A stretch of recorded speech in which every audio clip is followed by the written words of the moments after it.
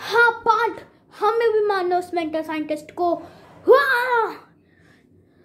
अब हमें कुछ प्लान करना होगा। अब हम दोनों जाएँगे और उसको मार मार के पहले उसका भुलता बना देंगे, फिर उसको फिर मारेंगे, फिर उसके सारे हथियार छीन के उसको ही मार देंगे।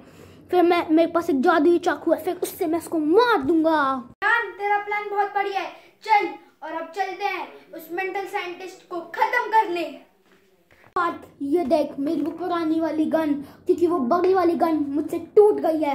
बट अब मैं इस गन से ही काम चलाऊँगा।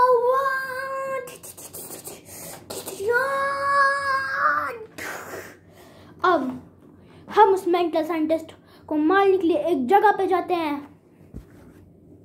आजा चल बयान चलते हैं उस मेंटल साइंटिस्ट को मारने।